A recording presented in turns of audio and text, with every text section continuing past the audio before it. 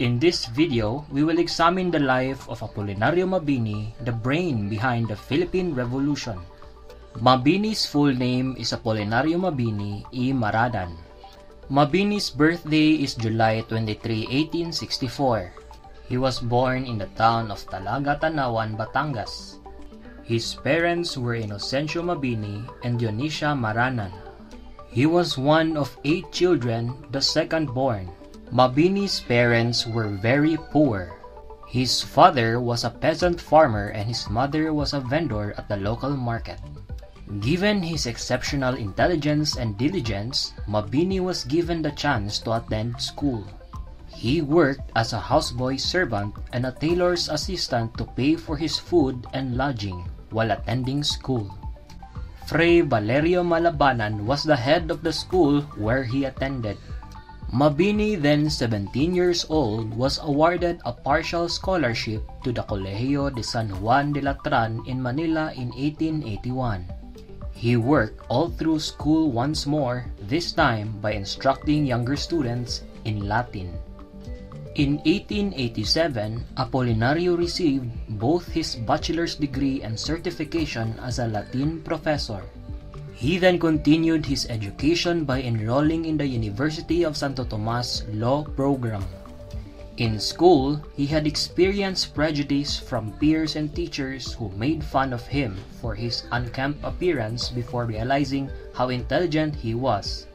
Since Mabini worked long hours as a law clerk and a court transcriptionist in addition to his studies, it took him six years to finish his law degree. Finally, at the age of 30, he received his law degree in 1894. Mabini later went on to practice law and advocate for the poor and underprivileged.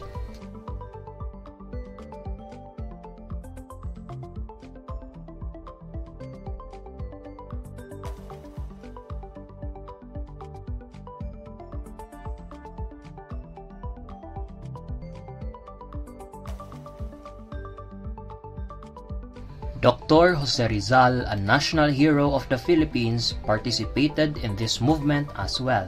Mabini participated in the founding of the reformist Cuerpo de Compromisarios in September 1894.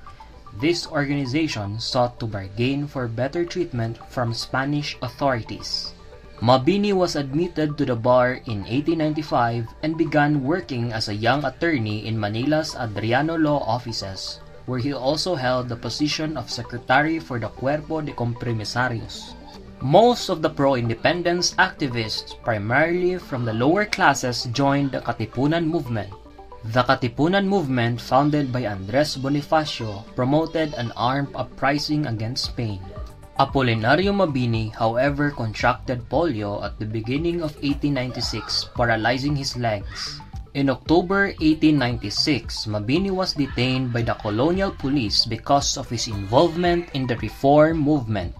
On December 30 of that year, when Jose Rizal was summarily executed by the colonial government, he was still under house arrest at the San Juan de Dios Hospital, and it is thought that Mabini's polio likely spared him the same fate.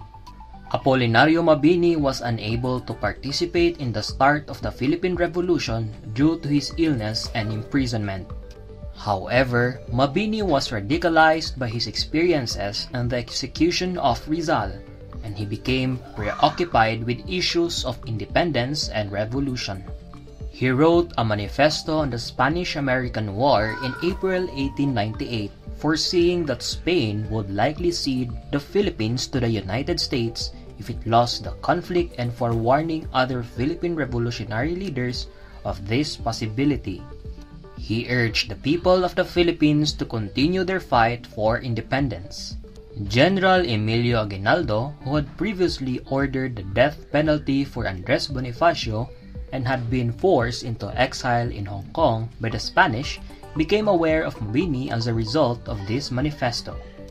On May 19, 1898, the Americans brought Aguinaldo back from exile in the hopes of using him against the Spanish in the Philippines. As soon as he got back to the Philippines, Aguinaldo told his men to bring the author of the war manifesto to him, and they had to carry the polio-stricken Mabini through the mountains to Cavite on a stretcher. On June 12, 1898, Mabini arrived at Aguinaldo's camp and quickly established himself as one of the general's main advisors. Aguinaldo proclaimed independence for the Philippines on the same day and appointed himself as its dictator. Mabini was successful in convincing Aguinaldo to abandon his plans to rule the Philippines in an autocratic fashion on July 23, 1898. He persuaded the new leader to install an assembly-based revolutionary government as opposed to a dictatorship. Because of Apolinario Mabini's success in convincing Aguinaldo, his admirers dubbed him the Sublime Paralytic. Because Mabini's morals and personal life were hard to criticize, his adversaries in the new government turned to a whispering campaign to discredit him. They spread the rumor that he had syphilis rather than polio because they were envious of his great power, even though syphilis does not result in paraplegia. Mabini kept working to build a better nation despite the rumors that were circulating. The majority of Aguinaldo's presidential decrees were written by him. He also shaped government policy regarding the structure of the provinces, the legal system, and the police as well as regarding land registration and military rules. He was given the positions of President of the Council of Secretaries and Secretary of Foreign Affairs in Aguinaldo's cabinet. In these capacities, Mabini had a significant impact on the creation of the Philippine Republic's first constitution. On January 2, 1899, when the Philippines were on the verge of yet another war, Mabini was appointed as both the Prime Minister and the Foreign Minister, continuing his ascent through the ranks of the new government. On March 6 of that year, Mabini started negotiating with the US over the future of the Philippines. After the United States defeated Spain, hostilities had already begun between the United States and the Philippines, though no formal war had been declared. Mabini attempted to negotiate a ceasefire with American troops and autonomy for the Philippines, but the United States rejected the armistice. Mabini supported the war effort out of frustration and left Aguinaldo's government on May 7. Aguinaldo then declared war on June 2 after less than a month. The revolutionary government in Cavite was forced to leave as soon as war was declared. Mabini was once again transported in a hammock, this time to Nueva Ecija. He was taken prisoner by American forces on December 10, 1899 and held there until September of the following year. Mabini wrote a critical newspaper article titled El Simil de Alejandro, or the resemblance of Alejandro, after being released on January 5, 1901.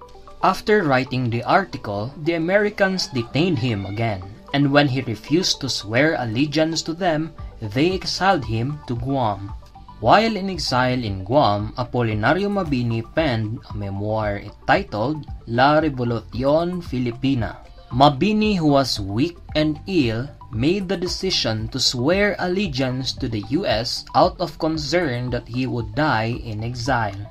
When Mabini returned to the Philippines on February 26, 1903, American officials there offered him a lucrative government position as a reward for taking the fealty oath, but Mabini turned them down. Over the ensuing months, Mabini kept up his pro-independence rhetoric in both his writing and speaking.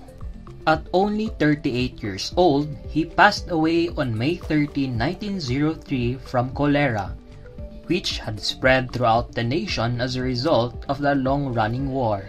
Mabini, like fellow Filipino revolutionaries, Jose Rizal and Andres Bonifacio, died before turning 40. Nevertheless, despite having a brief career, he had a significant impact on the Philippines' future and the revolutionary government. The life and accomplishments of Mabini are on display at the Apolinario Mabini Museum in Tanawan, Philippines. The 10 peso coin and bill in the Philippines both feature Mabini's image. Filipinos who have distinguished themselves in foreign service are given the Gawad Mabini Award. I hope you enjoy this video. Please support this channel by liking, sharing, and subscribing.